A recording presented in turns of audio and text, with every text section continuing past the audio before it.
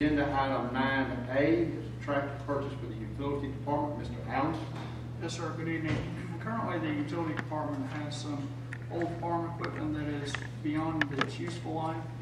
Um, We would like to utilize the buyback option while purchasing a new tractor. Two bids were received, uh, one from Atlantic Southern Equipment for the price of a new tractor of seventy-seven thousand dollars.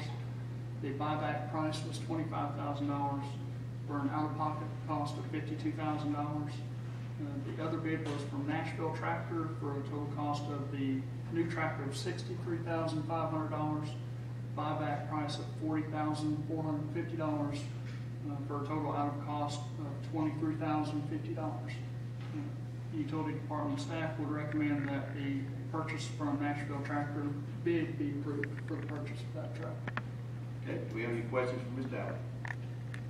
Hearing none, I'll entertain a motion. Motion to approve the uh, purchase of the new tractor from Nashville Tractor. We have a motion to approve the purchase from Nashville Tractor. Do we have a second? Second. We have a second. Any discussion on the motion? Hearing none, we'll call the vote. All in favor, signify by aye. Aye. Any opposed, like sign. Hearing none, the motion carries. Agenda item